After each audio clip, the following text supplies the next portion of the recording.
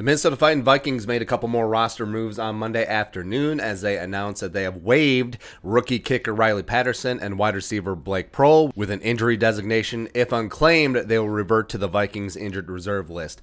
Proehl had a knee injury last week and it didn't look good. It's kind of more of a formality at this point. Had some high hopes for the pride of East Carolina, but we'll see what he can do next season.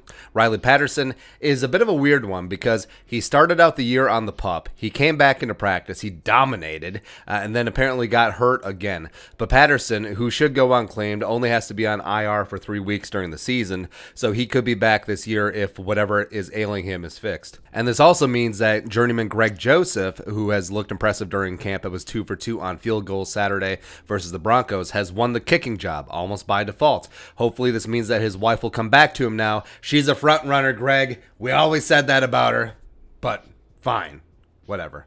Uh, Vikings have to make one more roster move by 3 p.m. Central Time tomorrow to get to the 85 man limit. May we interest you in our finest Dakota Dozers one time, but I'm not holding my breath. Hmm.